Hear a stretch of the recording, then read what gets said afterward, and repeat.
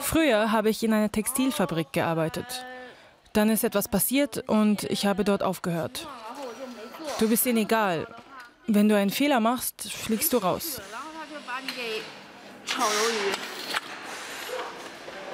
Jetzt hat Chu Wei Arbeit in der Inclusion Factory gefunden, eine Firma, die geistig Behinderte einstellt.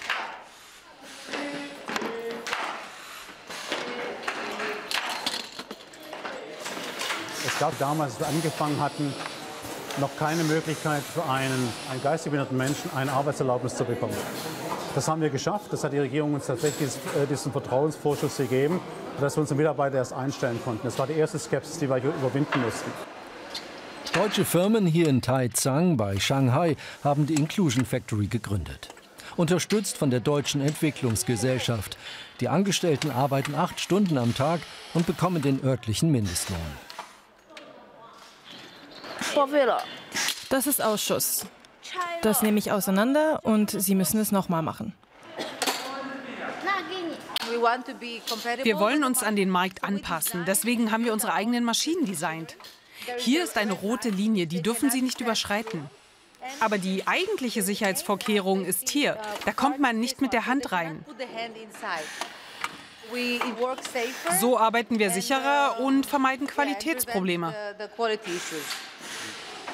Chinas Gesetze zur Inklusion entsprechen internationalen Standards.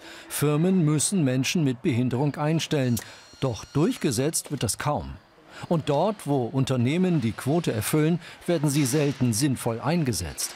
Die Firmen bieten Beschäftigungstherapie oder schicken sie gleich mit einem kleinen Gehalt nach Hause.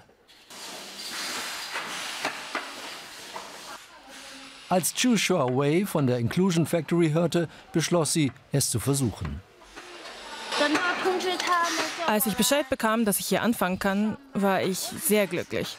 Ich will arbeiten und meinen Eltern keine Sorgen bereiten.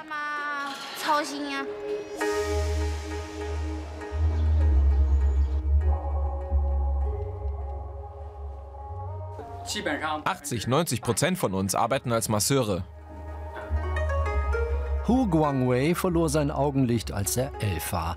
Seit einem Jahr arbeitet er in einem Salon für traditionelle chinesische Massagen.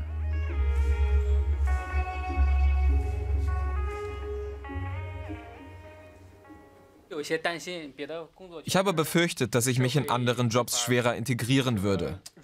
In diesem Beruf sind Blinde anerkannt. Die meisten von Wus Kollegen sind sehbehindert, so wie der Besitzer Cha Hong An.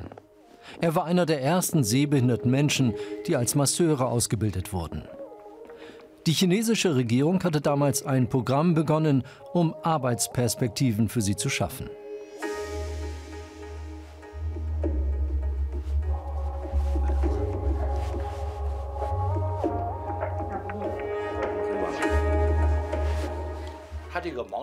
Blinde mögen vielleicht nicht sehen, aber ihr Tastsinn ist umso feiner. Sie spüren zehn oder hundertmal so viel wie andere.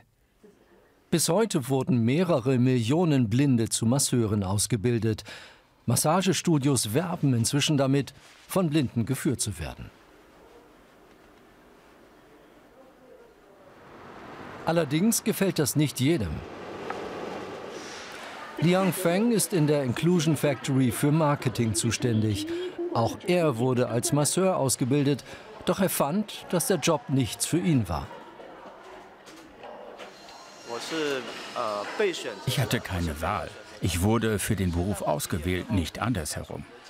Nach der Schule habe ich gesagt, ich will meinen eigenen Weg gehen. Meine Eltern haben es nach einiger Zeit akzeptiert.